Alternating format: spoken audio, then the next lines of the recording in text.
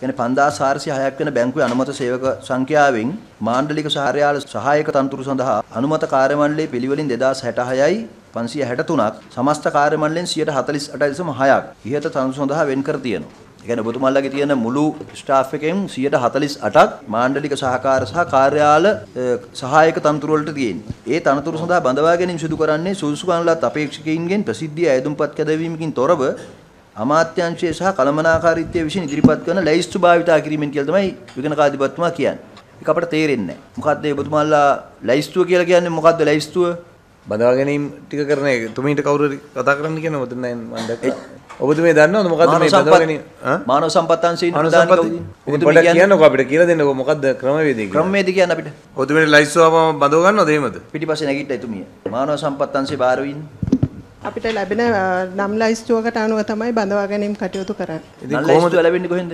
අමාත්‍යංශයෙන්. ඉතින් දැන් ඔබතුමිය මේ මේ නිලධාරිනියක් විදිහට දන්නේ නැද්ද? කවුද අමාත්‍යාංශයෙන් එවන කෙනා නිලධාරියා කවුද? මෙන්න මෙයා කට්ටිය බඳව ගන්න කියලා. ආ? 2005 නෑ කවුද මේ ලියපු ඒකෝ ලියුමක් මට ගන්න බෑ තියනවද ලියුම ලයිස්තුව නම් ගෙනාවේ නෑ. කවුද මේක ලියන්නේ නිලධාරියාගේ නම? නෑ ඔබතුමියට ලියුම් එවන එක්කෙනා කවුද? අමාත්‍යාංශයෙන් කියන කවුද අමාත්‍යාංශ අමාත්‍යංශයේ පෞද්ගලික ලේකම් තමයි. අමාත්‍යාංශ පෞද්ගලික කියලා නෙමෙයි අමතුමාගේ පෞද්ගලික අමාත්‍යතුමාගේ ආ පෞද්ගලික. එහෙම කියන්නේ අපි දැන් ප්‍රසිද්ධිය දැන්වීමක් කරමුද එහෙමනම් රටේ ජනතාවට ඉතිරි කිරීමේ බැංකුවට බැඳෙන්න කැමති කට්ටිය අමාත්‍යංශයේ පෞද්ගලික ලේකම්තුමා හමු වෙන්න. ඇමතුමාගේ පෞද්ගලික ලේකම්තුමා හමු වෙන්න කියලා. දැන් මොකද සභාපතිතුමා මේකේ ඈ? ඔව් මාස 6න් ස්ථිර කරනු ලැබේ. ඒක එහෙම දැන්වීමක් දාන්න. 2008 ඉඳන් කම් පර්මනන්ට්ලි අරන් තියෙනවා දැන් ගන්න ට්‍රේනිස්ලා. ඒකත් වැරදි මේකත් වැරදි අපි කියන්නේ ඒක මේ ඉතිහාස 2008 ආරක්ෂකයන් අපිට උවමනාවක් නැහැ ධර්ම අපි මෙතනින් ඉඳලා හරි ක්‍රමවේදයක් හදමු. දැන් ඔබතුමාලටත් හිතට එකඟව මම හිතන්නේ ඕකට එකඟ වෙන්න බෑ අමාත්‍යංශයේ ඇමතුමාගේ පෞද්ගලික ලේකම් සභාපතිටත් එහා ගිහිල්ලානේ දැන් ඉන්නේ එහෙමනම්.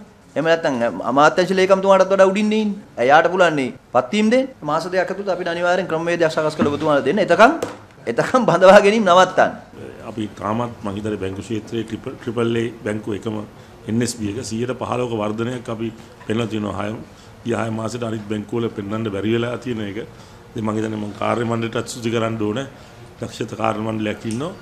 අ, මම ඔබතුමාගේ ප්‍රශ්න වලට අවධානය යොමු කරනවා. ඔව්, ඒ වගේම දැන් මම කියන්නේ ඔබතුමාලට විශේෂයෙන්ම දැන් අපිට මෙතනට ගේන ආයතන ගැන බලනකොට ආයතන වලට සාපේක්ෂව ඔබතුමාලගේ දේවල් අපිට අගය කරන්න පුළුවන් ගොඩක් දේවල් තියෙනවා. විශේෂයෙන් රාජ්‍ය සේවකීට ණය දෙන දේවල්. ඒ ඒ ඒක සිකියුරිටි එක තාම ඔබතුමාලා තියාගෙන ඉන්නවා. ඒක ලොකු දෙයක්. අපේ රටේ හුඟක් රාජ්‍ය සේවකින්ට දේපල ණය ලබා ගැනීම වගේ වෙයිදී ලොකු අපහසුතාවයන් තියෙනවා. පෞද්ගලික ආයතන වලට ගියාම ඒ ඒවට ගොඩක් රජයේ බැංකුවල විශ්වාසය තියෙනවා. රජයේ බැංකුවලුත් ජාතික ඉදිරිකිරීම බැංකුවේ ඒක ලොකු තැනක් තියෙනවා.